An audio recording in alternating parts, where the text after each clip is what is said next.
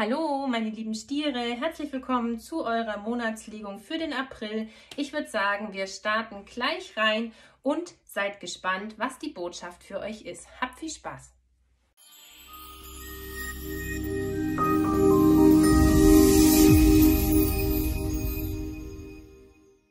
Hallo, meine lieben Stiere, herzlich willkommen hier bei mir bei Soul Balance Tarot. Ich bin die Sani und wir starten heute mit euch einen Blick in euren Monat April. Bitte bedenkt, es ist eine Kollektivenergie. Es kann auf euch zutreffen, das große Ganze, einzelne Fragmente oder aber auch gegebenenfalls gar nichts. Wow, ihr seid flott, ihr Lieben. Ihr habt die Gerechtigkeit, Karma. Hier wirst du die Konsequenzen deiner Taten, auch Handlungen und auch Worte aus ja, vergangenen Zeiten endlich ernten. Hast du Gutes gesät, wirst du Gutes ernten. Hier geht es um Kampf für Gleichheit und Gerechtigkeit, rationale Entscheidungen auch zu deinen Gunsten. Gib nicht auf, möchte dir hier die Gerechtigkeit sagen. Bleib am Ball, gerade auch mit der Nummer 8, ihr Lieben. Ne? Geht es hier ja auch um die Kraft und Stärke. Vielleicht erfordert hier etwas deinen Mut, deine Ausdauer, deine Kraft ja, wow, ihr habt das Ass Raphael, wie die lieben Witter, das Ass der Kelche, eine positive neue Erfahrung, erfüllende Liebesbeziehungen, profunde und nachhaltige spirituelle Erkenntnisse, um Hoffnungen mit dem Stern, Wünsche, Heilung und Klarheit. Ein Traum wird wahr. Glaube an dich, das Ende einer schwierigen Situation. So, ihr Lieben, eigentlich, ne? Nur eine Karte, aber ihr seht ja, was raus will, will raus und das soll es auch dann für euch dürfen. So, hier bekomme ich noch die Info, eine Karte von der Orakel der sieben Energien. Hoppala. Ihr Lieben, ich bedanke mich auch auf diesem Weg bei meinen Zuschauern aus der Schweiz, aus Österreich, an jeden Einzelnen. Vielen Dank für den Energieausgleich eurer Kommentare, eures kostenlosen Abos. Das hilft mir natürlich sehr weiter, um weiter Videos mit besserem Equipment auch machen zu können. Bitte seid so lieb und Lasst mir ein kostenloses Abo da, wenn euch das Video gefällt. Ihr bekommt hier nämlich mit der 34, wer hätte es gedacht, den Schlüssel zu neuem Wissen. Schöpfe aus deinen unerschöpflichen Möglichkeiten, siehe das große Ganze, vertraue deinen Wünschen, deiner Klarheit, deiner Anbindung, deinen Hoffnungen, Herzensangelegenheiten. Hier wird mir immer wieder gesagt, bleibe am Ball, du bist kurz davor, Gerechtigkeit zu ernten. Du hast hier tiefes Wissen, ja, mit der Göttin Athene. Vertraue auf die Botschaften, überprüfe deinen Glauben auch an das Universum. Mit der Nummer 5 haben wir den Hierophanten. Hier geht es um Verträge, Bündnisse auch, ne, Ehe, partnerschaftliche, lange Beziehungen. Du hast hier verborgenes Wissen. Intuitiv wirst du Klarheit erlangen und deine Gerechtigkeit einheimsen. Ja, deine göttliche Weisheit, ihr Lieben, wird euch führen. So, und dann, weil die Farbe Lila hier so schön für die Spiritualität versteckt auf dem Tisch ist, ziehe ich noch von meinem eigenen Kartendeck für euch eine wichtige Botschaft zur Charaktereigenschaft oder aber auch wie ihr euch im Monat April fühlen werdet, was wichtig für euch ist. Vielen Dank. Verbunden und zugehörig, ne? wie wir schon gehabt haben. Überprüfe deinen Glauben, setze deine Neuausrichtung aus, geh auf die Sinnfindungsphase. Hier darfst du motiviert und begeisterungsfähig einem neuen Ziel, einem neuen Abenteuer, einem neuen Weg folgen. Mega! So, wir starten mit dem Ast der Kelche und legen erstmal die Haupt- Karten hier für euch hin. Wichtig ist, du bekommst hier Wissen, du bekommst Gerechtigkeit, wenn du motiviert bleibst und hier den Schlüssel zu neuem Wissen auch anwendest, nämlich deinen Hoffnungen und ja, Glaubenssätzen, Glaubensmustern auch Vertrauen schenkst, hier positiv affirmierst, hier auch geheilt wirst, für Mäßigkeit und Ausgleich und Balance sorgst. Das Ende einer schwierigen Situation ist in greifbarer Nähe. Glaube an dich. Ein Traum möchte hier für dich wahr werden. Ihr Lieben, wir starten heute in den Monat April mit dem Rider Waite Tarot vom Los Carabeo Verlag. Ich verlinke euch die Karten immer unten in die Infobe Infobox. Infobox. ich wollte auch mal sagen, du bist toll, mein lieber Zuschauer, meine lieben Zuschauerinnen. Deswegen habe ich es euch auch auf den Tisch gestellt. Ihr lieben Männer, bitte seid so lieb. Wir legen immer auch aus der Sicht einer Frau, sei so lieb und drehst dir um. Ja, Geh hier in die Aktion, triff dich mit Gleichgesinnten, mit Menschen, mit denen tiefsinnige Gespräche möglich sind. Öffne dein Herz, geh raus, hab Spaß, hab Leichtigkeit, hab Freude. Hier wirst du Grund zur Freude und zum Feiern haben mit den vier der Stäben. Du wirst dein, deine Stabilität, dein Häuschen, dein Ankommen feiern. Du gehst raus, hast Spaß und du möchtest hier einen Abschluss von schwierigen Zeiten hinlegen und ein neues Kapitel, ihr Lieben, mit der Welt starten. So, das war noch die Zusatzbotschaft. Und dann starten wir mit eurem keltischen Kreuz. Sind wir mal gespannt, was der Monat April jetzt für euch bereithält und welche Begeisterung, welches Ast der Stäbe, welche Leidenschaft, welcher Seelenweg, welcher Funke hier auf euch zukommen möchte. So, wir starten mit der unterliegenden Energie. Ja, ihr Lieben, der Wagen, ta ta ta. Habe ich eben schon gesagt, nimm die Zügel deines Lebens in die Hand. Vielleicht auch ein Widder für euch wichtig, weil ihr habt sehr viel Ähnlichkeit bis jetzt mit der Widderlegung. Vielleicht habt ihr diesen auch in, im Aszendenten oder im Mond- oder Venuszeichen. Ne, Schaut es euch gerne auch mal an. Hier mit der Nummer 7 auch der Krebs könnte vielleicht wichtig sein. Geht es um den Wagen, um die Dualität des schwarzen und weißen Pferdes und des Sphinx sozusagen hier in Ausgleich zu bringen, einem Ziel zu folgen, voller Willensstärke und Kraft voranzugehen. Der Wagen, ihr Lieben, ist eine schnelle Energie und eine große Arcana-Karte. Krasse Veränderung, Umzug, Reise. Ja, Umzug wird ganz laut gesagt, okay, hier startest du etwas Neues, vielleicht auch ein neues Auto. Der Wagen könnte auch für ein Auto stehen. So, wir schauen mal in eure Hauptenergie. Die Transformation der Tod. Ja, ein Stirb- und Werdeprozess. Altes darf hier gehen gelassen werden, geschlossen werden. Alte Kapitel dürfen abgeschlossen werden, denn du hast jetzt hier den Schlüssel zu neuem Wissen. Du möchtest etwas, wie wir es mit der Welt gesehen haben, neu aufschließen, dein Ast der Kelche in Empfang nehmen, glückliche Momente, Dankbarkeit, Zufriedenheit und hier deinen Wünschen, Träumen folgen. Wir schauen mal in die Herausforderung.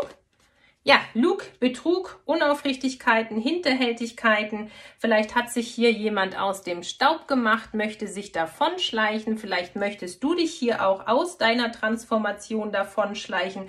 Vielleicht möchtest du aber auch einfach taktisch klug vorangehen und dich gekonnt aus dem Staub machen. Vielleicht hast du Angst, hier etwas zu beenden, aber die Transformation wird hier stattfinden. Hier geht es meines Erachtens nur darum, dass du nochmal zurückschaust wo du es mit Unaufrichtigkeiten zu tun hattest und hier quasi dich davon machst, bevor eine Sache-Situation eskaliert. Ja, der ein oder andere schaut hier in Verbindungen, Verträge, Bündnisse, Kreisläufe, karmische Kreisläufe, wiederholende Kapitel, wo ihr hier eben immer euch vielleicht entweder selbst davon gemacht habt oder wo es ihr mit Ghosting zu tun gehabt habt oder aber ihr schließt jetzt ein Kapitel, ein wiederkehrendes Kapitel ne, mit dem Tod von Lug, Betrug, Hinterhältigkeit, unaufrichtigen Menschen, Situationen, Angelegenheiten, ne? auch von verletzenden Gedanken. Hier geht es auch um die Neubewertung von Gedanken mit der Zahl 7. Du darfst dich hier neu ausrichten und deine Verbindungen, Verträge und Partnerschaften prüfen. Ja, Hindernisse, Herausforderungen und Blockaden. Ne? Halte durch heißt hier eine positive neue Erfahrung, ne? auch vielleicht eine erfüllende Liebesbeziehung kommt hier auf dich zu. Du darfst dich hier deinen spirituellen Erkenntnissen hingeben und darfst hier auf Gerechtigkeit vertrauen. Entscheidungen werden hier zu deinen Gunsten getroffen, gerade wenn es hier auch um Hinterhältigkeit gegangen ist.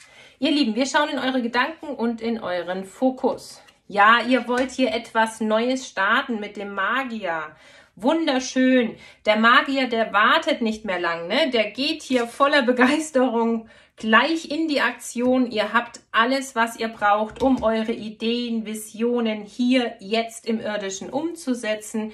Ihr könnt hier auf alles Gelernte äh, vertrauen. Ihr dürft euch hier von Manipulation, von Hinterhältigkeiten entfernen und ihr geht vielleicht hier in die Affirmation und erkennt positive Einstellung, zieht Positives an.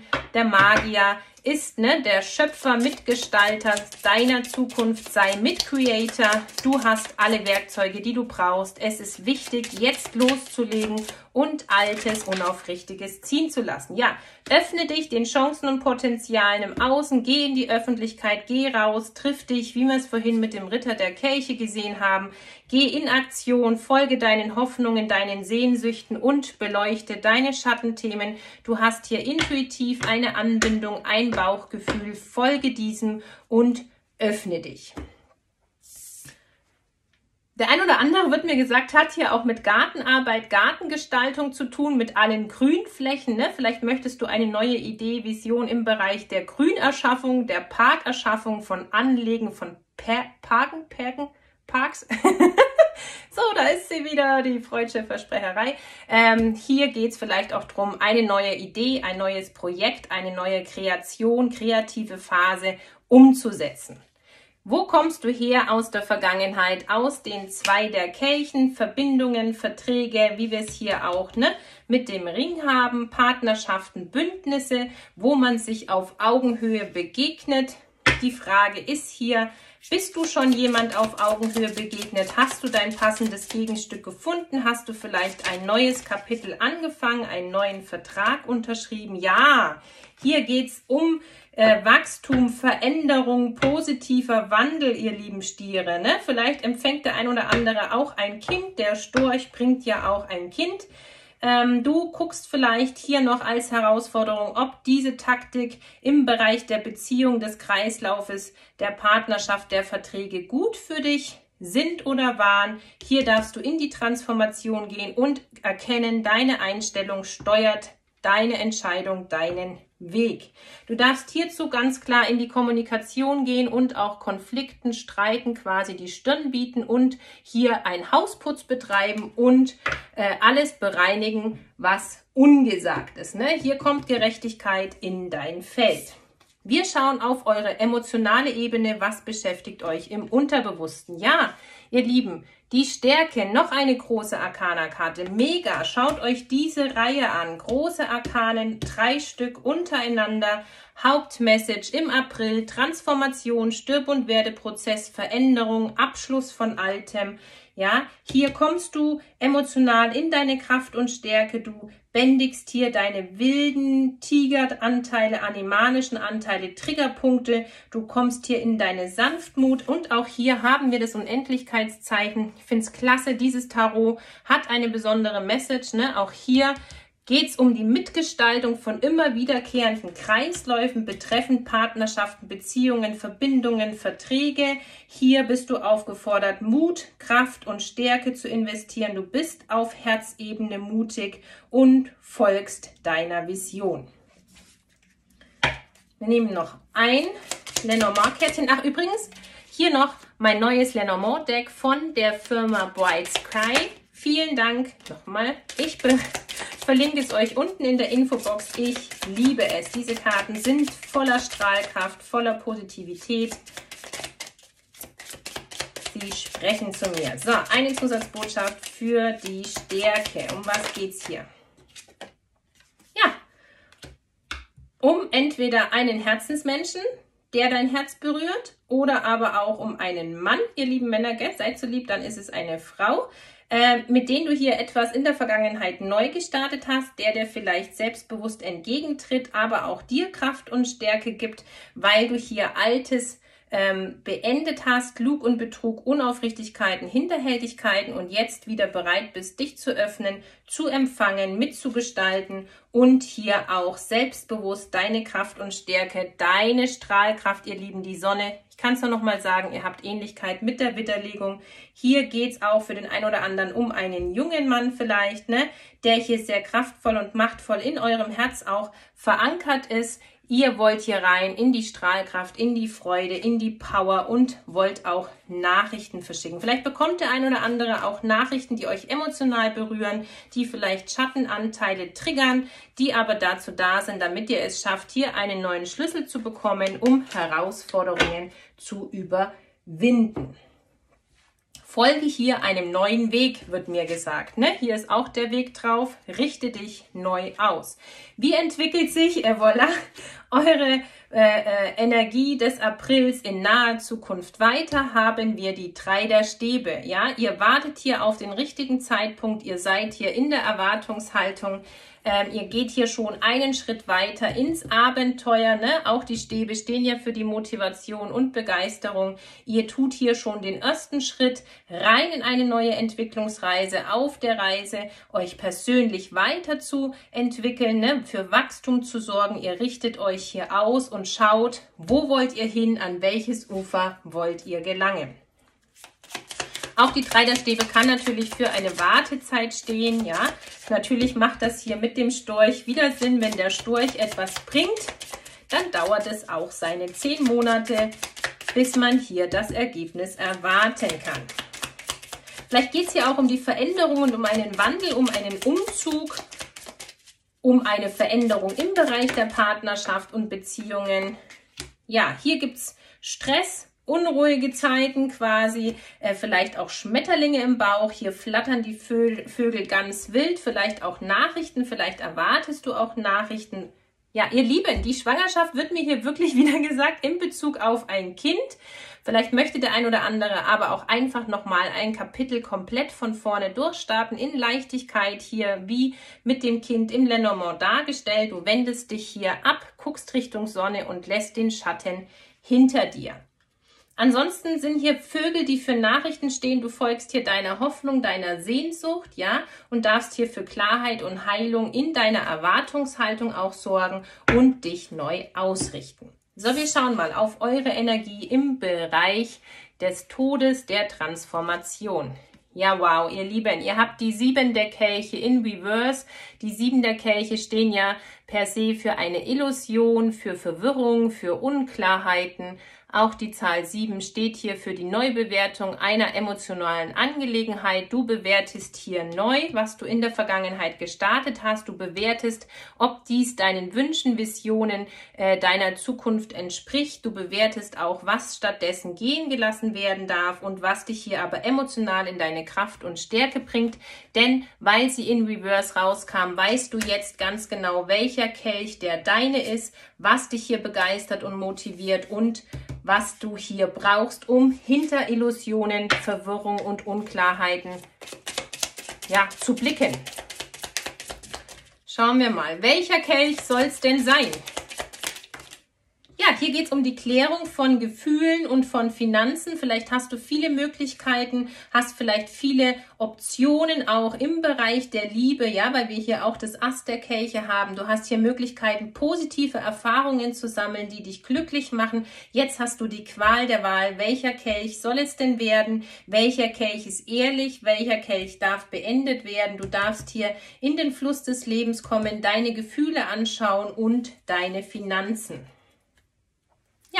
Hier geht es um die Verstrickungen, um Ex-Partner, um Hinterhältigkeiten, auch um Machtmissbrauch, integere Sachen wird mir gesagt. Hier geht es auch um Verrat vielleicht. Ne? Hier darfst du prüfen und ins Vertrauen kommen, wer meint es gut mit dir, wer nicht. Ja, du steigst aus aus dem Labyrinth und distanzierst dich eben hier von vielen unklaren Optionen und Möglichkeiten. Höre auf dein Bauchgefühl, wird mir gesagt, im Bereich der Gefühle und Emotionen. Sorge für deine Stabilität und Sicherheit im Herzen und in Leichtigkeit. Ne? Folge dem neuen Schlüssel deines Lebens. Du wirst erkennen, wohin dich dein neuer Weg führt. Was kommt von außen auf euch zu? wunderschön die drei der Münzen. Hier haben wir Teamwork, Zusammenarbeit, gemeinsames Gestalten, miteinander erarbeiten, miteinander in die Planung gehen. Die Zahl drei vielleicht für den ein oder anderen wichtig. Hier geht's mit den drei der Münzen drum, ähm, gemeinsam etwas zu erschaffen und zwar zum Wohle aller Beteiligten.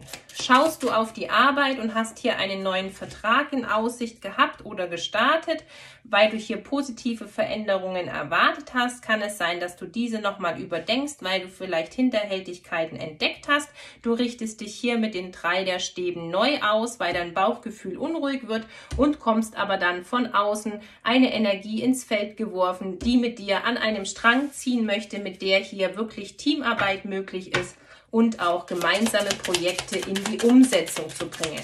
Ne, es kann natürlich sein, wenn ihr viele Möglichkeiten habt, drum prüfe, wie heißt wer sich ewig bindet, ob sich nicht was Besseres findet, bezogen auf alle Bündnisse, die es im Zwischenmenschlichen gibt. Ja, hier hast du Stabilität und Sicherheit. Vielleicht möchte der ein oder andere ein Häuschen bauen, kreieren, ausbauen, umbauen, verändern. Hier geht es wirklich um die Gestaltung von einem Park, von Grünflächen, auch um hier sein eigenes Zuhause in sich und im Außen zu finden, um außen zu finden. Entschuldigung, ich bin schon wieder so schnell, aber es blubbert nur so, um hier mit anderen gemeinsam etwas zu erschaffen. Folge deinem deiner Harmonie, deinem Frieden, deiner Leidenschaft, ne? Hier alles, was dich motiviert und begeistert, dem darfst du folgen und in die Aktion gehen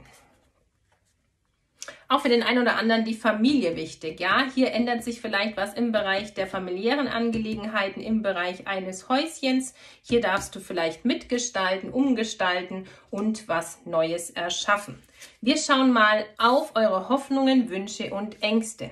Ja, eure Hoffnungen sind hier wirklich die 10 der Münzen. Das ist die Checkpot-Karte im Bereich der Fülle, im Bereich von Familiengründung. Der ein oder andere möchte hier wirklich eine Familie gründen oder bekommt Nachwuchs, möchte etwas erweitern. Vielleicht habt ihr hier auch dann drei Kinder, weil die Zahl drei immer wichtig ist oder ihr möchtet drei Kinder oder es wird das dritte Kind.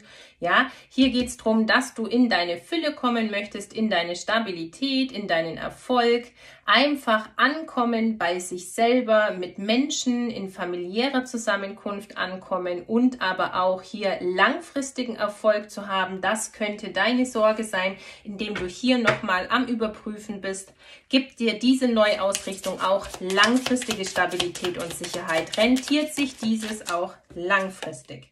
Ja, hier habt ihr vielleicht mit einem Vaterthema zu tun oder mit einem sturen Menschen im Außen, vielleicht auch ein Chef, Trainer, Coach, aber auch vielleicht jemand wirklich auf Seelenpartnerebene, der hier jetzt mit euch an einem Strang zieht.